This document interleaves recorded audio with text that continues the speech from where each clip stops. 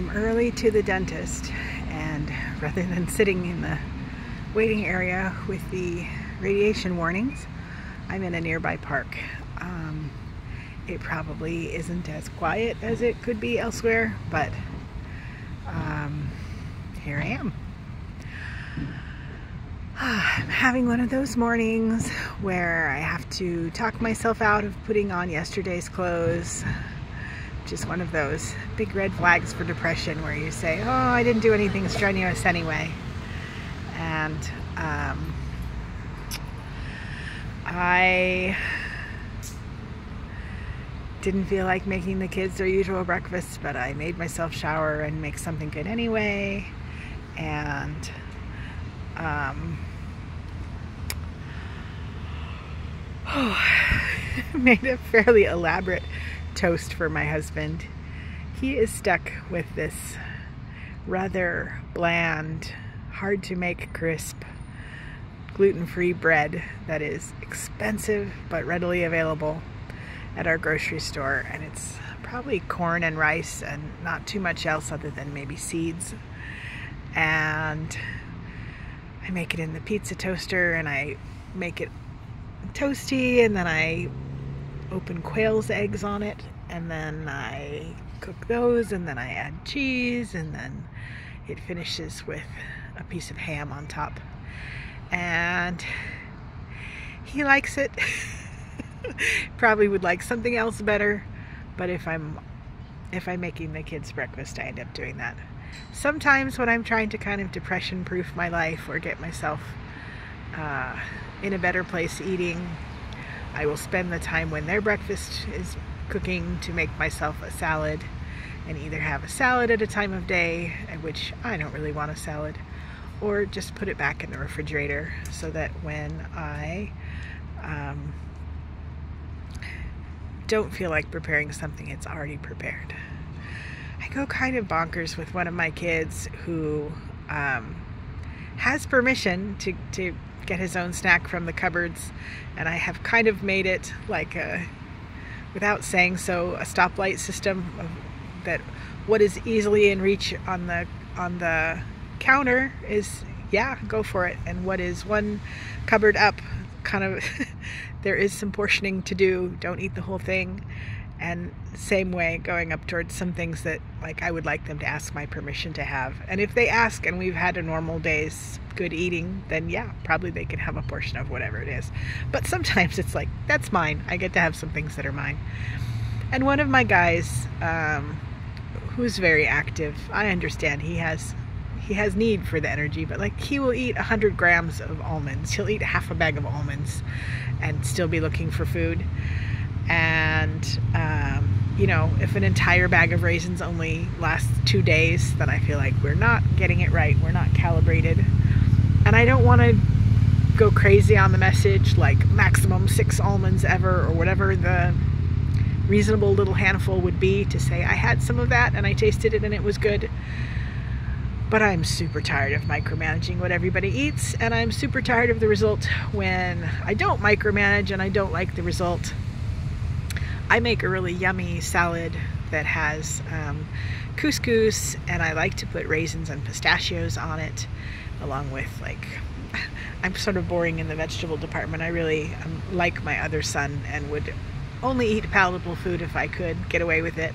But, you know, like the romaine that doesn't rot in the fridge and lots of red peppers and cherry tomatoes and um,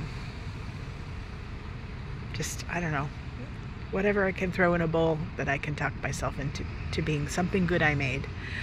Um, the store-bought um, couscous that is in the you know prepared eat it now is like twice the portion I would want and it's super vinegary. So it's kind of like it's the salad dressing and it's some extra carb in a in a salad.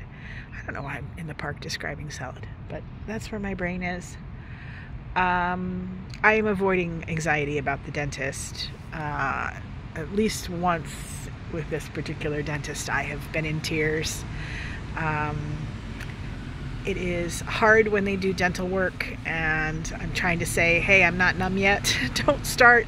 And they're like, no, you should be fine. And they keep doing it. And I want to say, I can feel that. stop.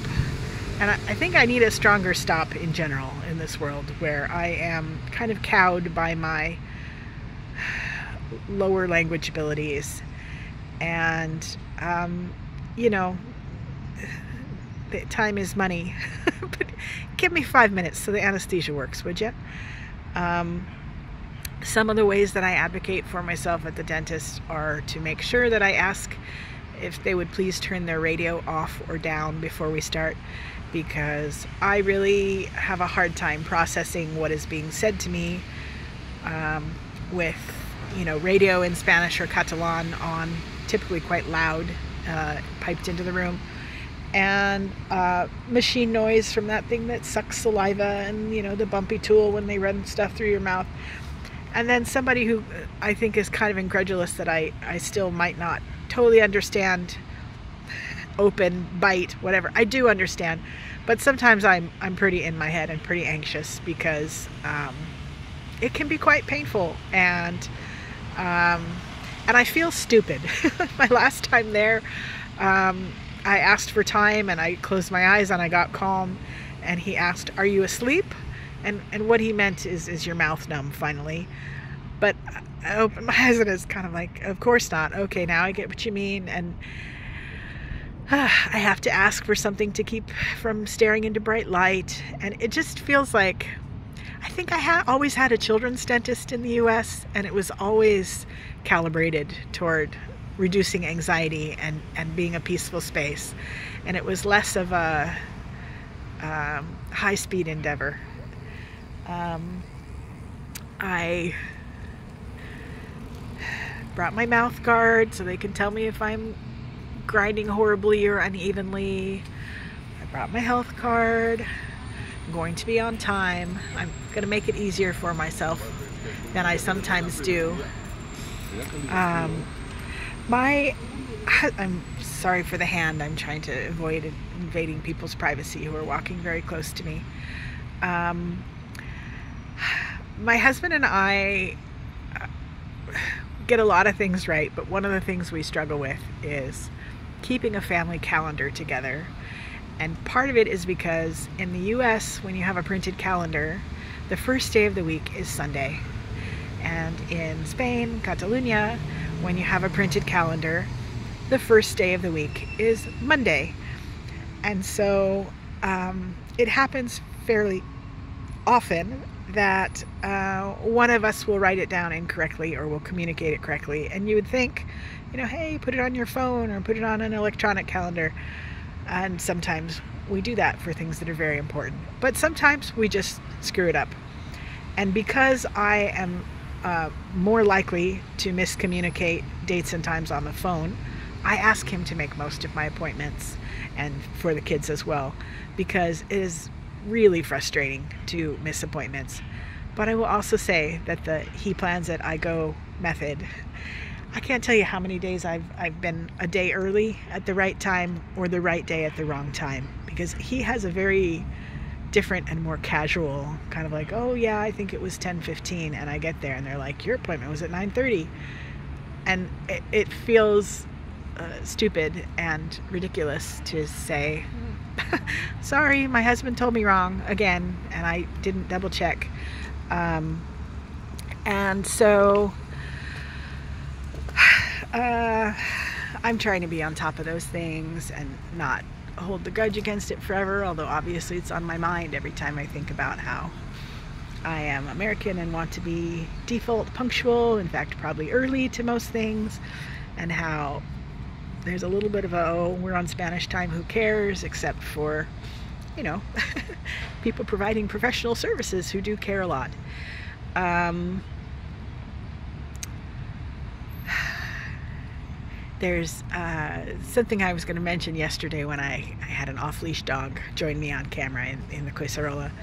Um, there's an expression, if I ever write a, a memoir or publish some short stories or just for my own uh, processing, if I ever really finish the thing I'm writing, I think the title might be No Pasaré. Uh, or no passa res, depending on your accent, um, which um, is the Catalan version of, you know, no problem. But uh, it, it literally means like nothing happened. which is sort of how I feel um, about uh, about my life here. Is that I am anxious and coping with things that are just nothing. And to most people, they're like, "Yeah, that happens to me all the time." And for some reason, I'm I'm stuck in my head trying to optimize it or prevent it from happening the next time or solve it. And um, even not even not being sure which version of that is the one I should say better. I, I hear some people say no passa res, and I hear some people say no pasare, and um, I am somewhat stuck with my norte accent. I'm I'm not trying real hard at accent correction at this point. I'm trying for accuracy and to be understood most of the time. But um, there definitely in Catalan are letters that are uh, unvoiced or nearly dropped anytime T follows N without vowels after it, for example, um, when you say nice to meet you, um, if you say tant de gust, it sounds silly, and uh, tant de gust is correct, and uh, people will, you know, make the make the face that says, "I'm trying not to laugh at you. I'm a good person," but they're trying not to laugh at you. And um, when um, you use infinitives, the R is dropped almost entirely. I have a strong rhotic R. I'm American.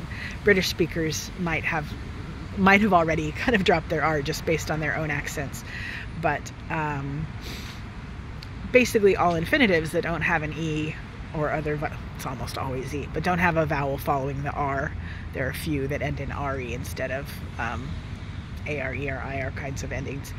Uh, those get dropped too. And I like the idea that not that I sound great because I know that I I still screw up on the syntax and that I'm I'm not an amazing speaker of Catalan, but I I learned it by hearing it, which is uh, something that doesn't happen much in the U.S. Um, in our standard public school language classes. Like there are recorded voices, but odds are you you you mostly hear your classmates speak it as badly as you do for the, the bulk of the time. And here at least, I'm I am imitating my husband, whether he has the best accent or not, or whether you know I am picking up mistakes my kids make that that a native speaker would be training them out of. There's probably some of that too, but um, but anyway, I have started writing. Uh, no passa res. It's kind of the fictionalized memoir. And the trouble is, it, it reads like a list of grievances. You know, I've, I've given changed names to protect the innocent, and um, and it's the kind of thing that probably won't get published because there's a pettiness to it, there's a meanness to it, and there's the sort of underlying feminist truth of of why are relationships this way? Why is this expected of women? Why uh, why, why, why? Um, and it's been done. But I guess sometimes the devil's in the details, and I get some satisfaction rather than just being mad of sitting down at the computer and composing a scene in which uh, people who are clearly identifiable as us um, get it wrong in the ways we do, and and um, there's there's plenty of friction, but not enough conflict for a real novel. And how do you how do you end a book? You know, if I were to write a book about a decade in Catalonia, uh, feeling unimaginative, uh, I think it ends when you get on a plane and go home, and I and I can't do that. I can visit, but I can't stay. It's one of the points of conflict sometimes with my mom, who on Skype will say, "Oh, one of these days you'll move home," and and I wonder if she realized what that sounds like to me is one of these days you'll leave him, because that's the only way I can move home is either uh, my kids are grown up or I start the long, expensive, you know, green card visa process.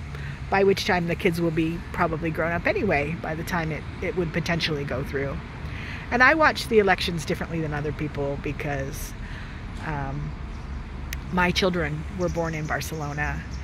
And um, when the xenophobic, xenophobic hate mongers, you know, talk about who belongs and who doesn't, mine belong by virtue of a law that says children born to American mothers overseas are American. And it's not a stretch for me to imagine that uh, someone racist and xenophobic might decide in the future no, never mind. Um, you, you don't count. You have to be born on, on native soil. And it stresses me out. Um, and the idea that you know you could you could put that money and time and energy and emotional investment into trying to get rights for my husband only to have him feel like I feel that that he's, he's not in his home that he though his English is good I, I imagine making him as unhappy on the day to day as I am on the day to day to be out of my world that when when you start, it's an adventure, and people back home, I think, sometimes can't even imagine that it isn't just, you know, permanent vacation. You're in Barcelona, but eh, you reach a point where you rarely go more than a half hour from your house, and it's just grocery shopping and school runs and life and parks and libraries and whatever. And it, you could be anywhere. It almost doesn't matter, except that that it's not in your operating language as the default. So when the novelty runs wears out, um, and it it starts to just feel hard. That connecting with people feels hard, and even when people are open and good-hearted, it, it feels superficial in a way that sometimes.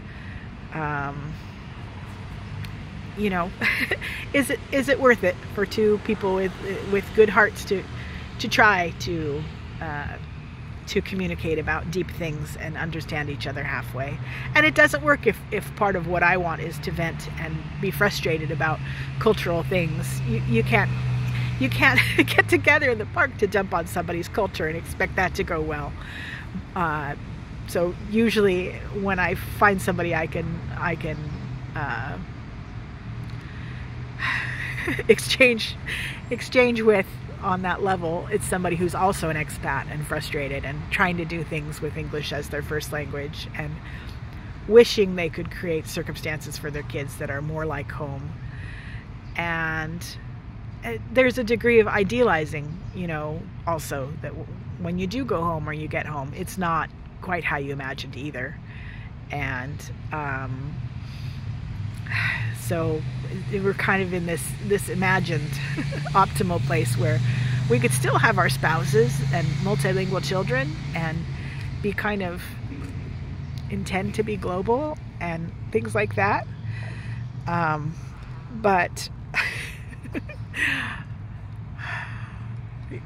we have to make choices. I'm so lucky. I have a roof over my head. My partner has a stable job. I have savings and kind of a golden parachute for retirement to a degree. Um, my kids are going to be okay and grow up and probably have fairly normal jobs doing I don't know what. And um, our health isn't always 100%, but we are so lucky. And yet, for all the times when I am anxious and frustrated and the advice is kind of keep a gratitude journal or hey just don't worry so much. Don't let it get to you. Um, I, I, I feel kind of constitutionally incapable of doing that. So that's that's the wrong way to look at it. I should I should I should keep at it. Um, I think I'm gonna sign off so that I'm not late to the dentist and and uh, have as good a day as you can when you're going in for mouth pain. If you listen, thanks for listening. Hello from Sant Cugat.